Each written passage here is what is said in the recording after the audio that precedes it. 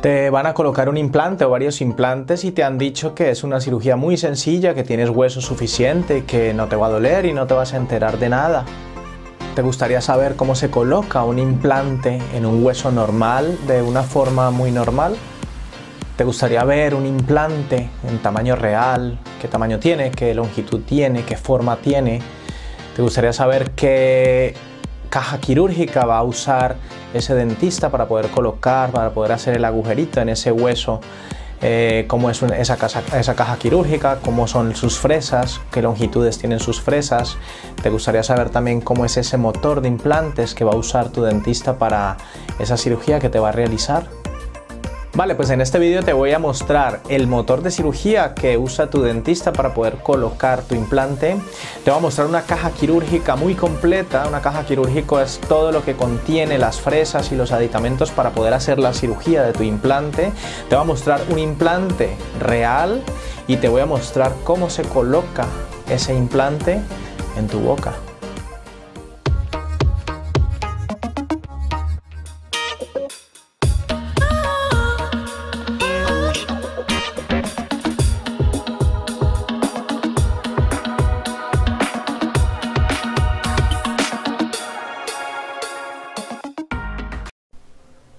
Bueno, este es el implante que vamos a tomar de muestra para el ejemplo de hoy. Viene en su cajita estéril, sin contaminación ninguna, cero bacterias.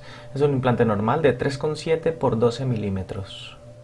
Bueno, esta es la caja de cirugía que vamos a usar para la colocación, de, la colocación de este implante. Aquí vemos la primera fresa, es una fresa de lanza. Se maneja a altas revoluciones de velocidad porque es la fresa inicial con la que vamos a perforar ese hueso cortical inicial que tenemos. A partir de ahí ya empezamos con la secuencia de fresado. Aquí vamos a tomar un ejemplo de 10 milímetros de longitud y para esto comenzamos con la primera fresa que es de un diámetro de 2,2. Esta otra fresa es una fresa piloto para corregir la angulación en el caso de que nos estemos equivocando en la angulación de nuestra inserción de nuestras fresas.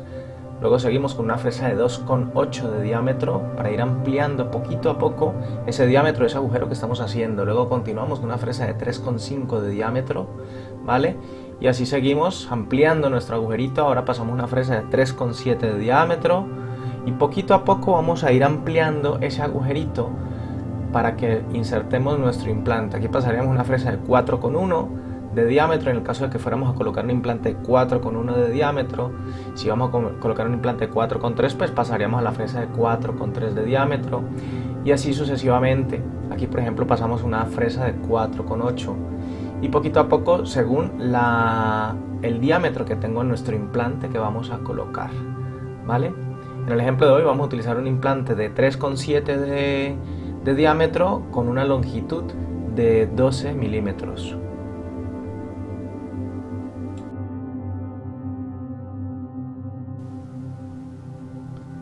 Bueno, ya en esta caja quirúrgica nos encontramos varias cosas. Vemos los transportadores que vamos a necesitar para llevar nuestro implante desde, su cajita hasta tu boca. Vemos una serie de destornilladores que podemos utilizar para ajustar cada aditamento, cada tornillo, cada, cada cosita que vayamos a colocar sobre ese implante. Debajo de esta caja tenemos un medidor de profundidad, y algo muy importante que es la llave dinamométrica. Con esta llave ajustamos y sabemos los torques de fuerza que le damos a cada tornillo o a cada implante que colocamos en tu boca. Aquí estamos viendo el implante de 3,7 milímetros por 12 milímetros de longitud en tamaño real. Vemos que este es el tornillo inicial con el que viene el implante. Este tornillo vemos que es queda a ras del implante. También se le pueden adaptar varios tipos de tornillos. Este vemos un tornillo que es estrecho y largo, ¿vale? A los implantes le podemos adaptar varios tipos de aditamentos según lo que necesitemos hacer con ellos. En este caso estamos atornillando un tornillo mucho más ancho de, uno, de una altura de 2,5, ¿vale? Eh, también podemos atornillar varias alturas de tipos de tornillos. Estos tornillitos los necesitamos para ir dándole forma a la encía que rodea nuestro implante y esa forma al final tener un diente estético, sobre todo que la encía esté bastante estética, cicatrizada alrededor de lo que vamos a colocar. Bueno, este es el motor de implantes con el que vamos a ir haciendo el fresado, el agujerito en tu hueso, ¿vale? Tenemos, eh, podemos manipular la velocidad de movimiento de cada una de esas fresas, 2000 revoluciones por minuto, es una velocidad demasiado alta, es muy alta, ¿vale? Normalmente manejamos unas velocidades de 800, 700 eh, revoluciones por minuto, ¿vale? Eso es lo que indica la casa de la mayoría de los implantes. Yo normalmente trabajo a 500 revoluciones por minuto, dependiendo del tipo de hueso. Si es un hueso muy duro, trabajamos a 500. Si es un hueso un poco menos duro, yo trabajo a 300 revoluciones por minuto. Siempre a esas velocidades, para mí son altas, altas velocidades, debemos trabajar con mm, irrigación, ¿vale? La irrigación quiere decir que el fresado tiene que ir eh, lubricado. Lubricamos normalmente con suero fisiológico.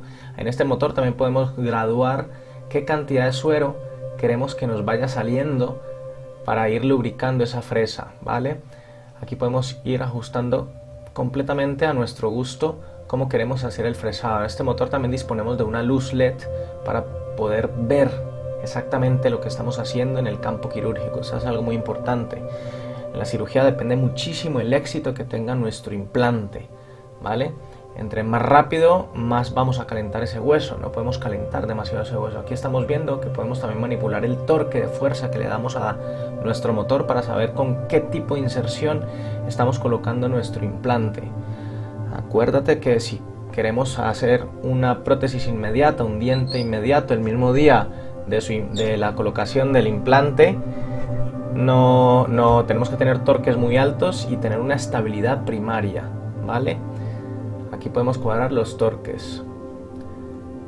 Bueno, para la simulación de este ejercicio vamos a trabajar a 300 revoluciones por minuto y no vamos a trabajar con irrigación ¿vale? Porque es un modelo, no vamos a trabajar en una boca real, sino que vamos a trabajar en un modelo. Entonces no queremos llenar esto de, suero fisiológico, esto es a manera de simulación. ¿Vale? A continuación voy a mostrar cómo vamos a colocar un implante de 3,7 milímetros en un modelo, en un modelo de plástico. Eh, aquí vemos también, a continuación en esta imagen, vemos la pieza de mano que utilizamos. ¿vale? Esta pieza de mano siempre debe estar completamente estéril. Ella es la que vamos a poner nuestras fresas y vamos a ir llevando nuestro implante con esto. Aquí vemos, por ejemplo, un ejemplo de las velocidades. Escuchad el sonido de la velocidad. 200 revoluciones, 300 revoluciones.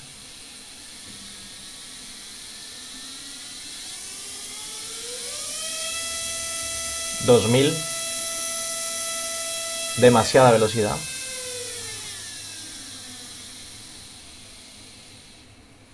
300, 100 y unas velocidades muy bajas.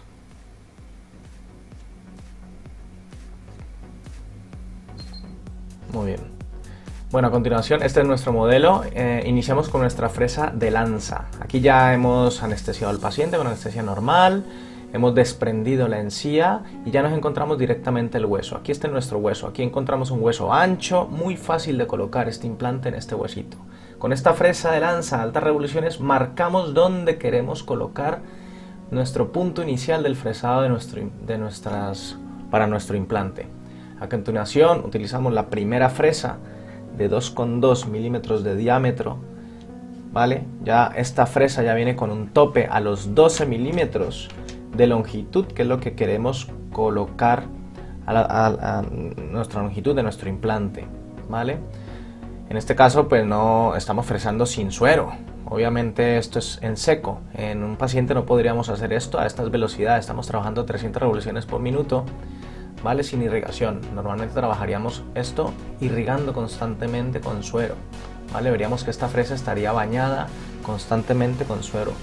Pasamos a la siguiente fresa que es de 2,8 de diámetro, ¿vale? Y la misma longitud, los 12 milímetros que va a medir nuestro implante.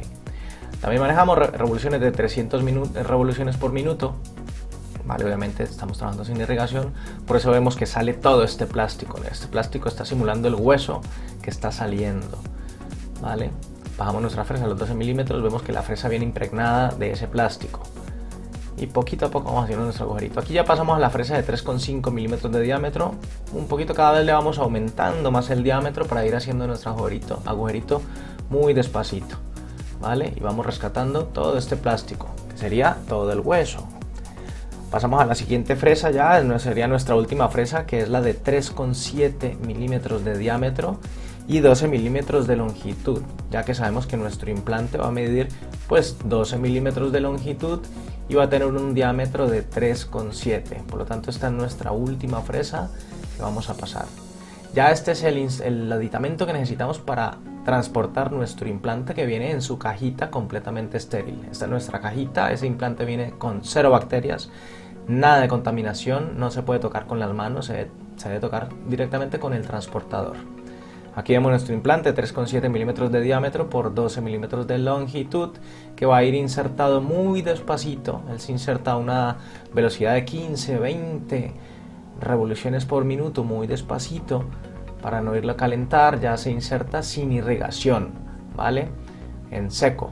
Por eso insertamos nuestro implante muy despacito para no ir a calentar ese hueso. Poquito a poco él se va insertando ya que tiene su rosca para irse autorroscando en ese hueso.